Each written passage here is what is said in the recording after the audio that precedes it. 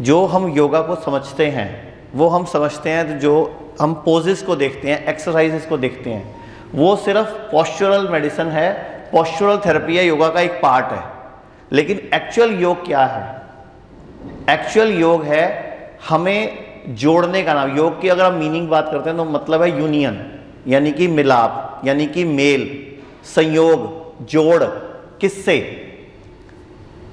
हमारे मन बुद्धि, चित्त, अहंकार और सृष्टि परमात्मा से। तो एक्चुअल योग सब चीज़ों से जोड़ने का नाम है। और जो योग से जुड़ जाता है ना, वो उसके जीवन में पूरा का पूरा बदलाव आ जाता है। खाली योगा की एक्सरसाइज अगर हम करते हैं, या हम सिर्फ़ कुछ आसन करते हैं तो वो एक तरह का जैसे आप जिम जा रहे हो, या आप आजकल जो एक्सरसाइज करते हो, बस उतना ही है।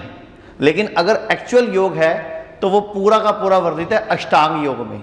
यम, नियम, प्राणायाम, ध्यान, आसन, समाधि, प्रत्याहार। तो ये सब जो हमारे योग की जो आठ अंग जिसको बताया गया, अष्टांग योग में बताया गया है। और ये पतंजलि ने बड़े अच्छे से समझाया है।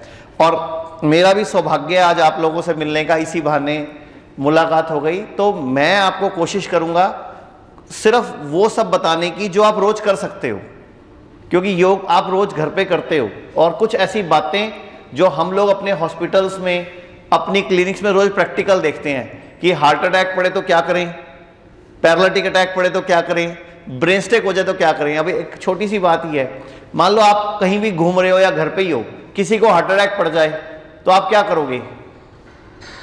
आप फ़ोन करोगे एंबुलेंस को बुलाओगे या कुछ भी कोशिश करोगे, घर में एस्प्रिन की गोली पड़ी है, वो ढूंढोगे। अब मान लो ब्रेन स्ट्रोक पड़ोगे तो क्या करोगे?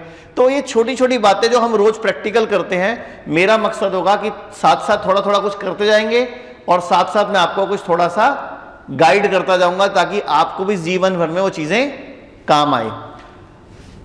तो जो आप घर पे करते हो योगा, प्राणायाम करते हो या जो हम पोजेस देखते हैं, वो सब आसनों के अंदर आते हैं। तो जब हम बिल्कुल शांत बैठते हैं नॉर्मल चौकड़ी लगा के बैठते हैं तो इसको हम सुखासन बोलते हैं, ठीक है? और सुखासन में हम, जब ये, इसके साथ मुद्राओं का भी बहुत बड़ा रोल है, लेकिन अब जब हम ध्यान लगाते हैं तो ये सब, ये ध्यान मुद्रा इसको बोला गया। ये जो उंगली है और अंगूठा आप टच करते हो, ये इतना वंडरफुल प्रभाव करती है कि हमें मालूम नहीं है। जैसे अपने सुना होगा अपना हाथ जगन्नाथ। सुना है ना? तो अपने हाथ को ही हम चाहें तो इस हाथ से ही ना हम पूरी बॉडी को बैलेंस कर सकते हैं। जैसे ऐसे करो हाथ को आप लोग। शुरुआत करते हैं, ये वाली उंगली जिसको रिंग फिंगर बोलते हैं, इसको ऐसे पकड़ के प्रेस करना है। ये पृथ्वी तत्व है। तो पृथ्वी इसको मतलब धरती, फिर अब छोटी उंगली जल, अंगूठा अग्नि, वायु, दबाना भी है इसको साथ साथ और ये बड़ी उंगली आकाश। ये पाँच तत्व हैं जो हमारी बॉडी में अगर बैलेंस हो जाए तो हम बीमार नहीं पड़ सकते। और इनको बैलेंस करने का सबसे बड़ा सूत्र इन पाँच उंगलियों में ही है। तो एक बार कर लेते हैं प्रैक्टिस फटाफट शुरू करते हैं। धरती, जल, अग्नि, वायु, आकाश। ये मैंने आपको पाँच तत्वों के नाम बता दिए। अब इनके मंत्र हैं। इसका जो धरती का मंत्र है, ये है लम। तो हम मंत्रों के साथ करते हैं इसको। तो मेरे साथ बोलेंगे लम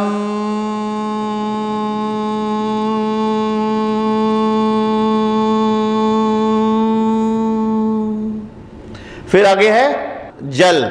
इसका क्या है? वम। वम।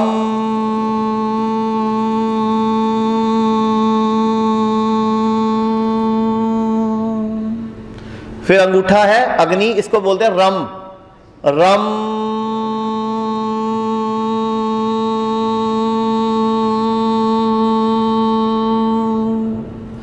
फिर ये आएगी हमारी कौन सी उंगली? वायु। ये है यम। इसको हार्ट चक्र भी बोलते हैं। तो यम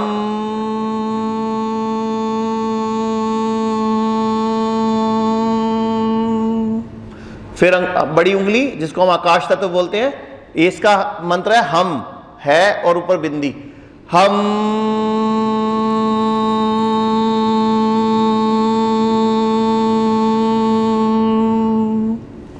ये जो आपने पहली उंगली दबाई थी, जिसको धरती हमने बोला, ये मूलाधार चक्र का मंत्र है। ये रीढ़ की हड्डी के बिल्कुल नीचे स्थित होता है।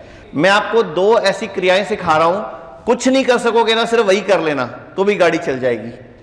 तो पहले मैं आपको कुछ एक्सरसाइज बताता हूँ। पाँच एक्सरसाइज का सेट बता देता हूँ। जो आप रोज नियम से करोगे तो छोटी मोटी जितनी भी प्रॉब्लम्स है लाइफ की, और खाली आपकी प्रॉब्लम हेल्थ वाइज ठीक नहीं होगी हेल्थ वाइज भी मेंटली भी स्पिरिचुअली भी, और किसी को नींद नहीं आती होगी डिप्रेशन होगा एनएक्साइटी होगी, थकान रहती होगी, उन सब में भी बेनिफिट मिलेगा। तो सबसे पहले हम करेंगे, कमर सीधी करेंगे, चौकड़ी मार के, कमर बिल्कुल सीधी रहेगी। हमने पेट के नाभि के निचले हिस्से को अंदर खींचना है। ठीक है? यस स्ट्रेच खींचो अंदर, और खींचो। इतना खींचो इतना खींचो, दुखने लग जाए। और खींचो। और खींच के ही रखना है उसको, छोड़ना नहीं है। और खींचे हुए पेट को ही और खींचना है। और खींचो रिलैक्स आप आयुर्वेद में सुनते हो ना कि 80 टू 90 परसेंट बीमारियाँ पेट से होती हैं। पेट से बोल दिया, पेट में क्या? पेट में क्या चीज़ से होती हैं? नाभि इम्बेलेंस जिसको आप धरण पड़ना बोलते हो, या आंतों के अंदर मल चिपक जाना, या आंतों में इंफेक्शन हो जाना तो ये हमें पेट को सेट कर लिया तो लगभग 80 टू 90 परसेंट प्रॉब्लम सॉल्व हो जाएगी। अब पेट सेट करने का मतलब लोग सोचते हैं सिर्फ़ पेट साफ़ होना। पेट साफ़ होना उसका एक आयाम है। हमारी एनर्जी को बैलेंस करना, यानी कि नाभि चक्र को। तो ये नाभि चक्र को जो हमारा स्वाधिष्ठान चक्र है, उसको सेट करती है। यस, एक बार फिर करते हैं। स्ट्रेच, इसको आप ध्यान मुद्रा में भी कर सकते हो, नहीं तो ऐसे घुटनों पे हाथ रख के भी कर सकते हो। खींचो अंदर पेट को, और खींचो और खींचो और खींचो। चेहरा नहीं खींचना फेस रिलैक्स रहेगा। रिलैक्स इतना खींचना है कि दुखने लग जाए। आठ बार करेंगे इसको हम। यस एक बार फिर। स्ट्रेच खींचे पेट अंदर, और खींचे, और अंदर और अंदर और अंदर। रिलैक्स एक बार और। पेट के नाभि के निचले हिस्से को अंदर खींचेंगे। यस स्ट्रेच और खींचो। और अंदर। और अंदर। और अंदर। खींचे हुए पेट को ये और खींचते जाओ अंदर। और फेस पे हल्की सी स्माइल रहेगी। रिलैक्स आप कपाल भाती में तो सिर्फ़ पेट को ऐसे ऐसे करते हो ना? तो कपाल भाती भी यही है, लेकिन मैं आपको वो बता रहा हूँ जो निचोड़ है, कि कुछ नहीं करने का टाइम मिला तो बस यही कर लेंगे अपन। यस एक बार और। स्ट्रेच खींचे अंदर इसको पेट को। और खींचे। और अंदर। और अंदर। और अंदर। और अंदर। रिलैक्स एक बार और। स्ट्रेच पूरा ज़ोर लगाओ पेट खींचने में अंदर। रिलैक्स आप इस क्रिया को घर पे करोगे, आँख बंद करके करोगे, ज़्यादा फ़ायदा होगा। और सांस का कोई ध्यान नहीं देना। बॉडी अपने आप इतनी इंटेलिजेंट है, वो अपने आप सांस को एडजस्ट कर लेती है। कई बार हम सांस के ध्यान के चक्कर में क्रिया गलत कर लेते हैं। आप बॉडी पे भरोसा रखो। बहुत इंटेलिजेंट है, इसको अपने आप पता है कि मुझे कब सांस लेनी है और कब सांस छोड़नी है। तो लास्ट बार करते हैं। एक बार और। स्ट्रेच खींचे अंदर। और अंदर और अंदर रिलैक्स तो ये थी पहली क्रिया जिसको हमने पेट को अंदर खींचा. टोटल आठ बार करना है इसको हमने.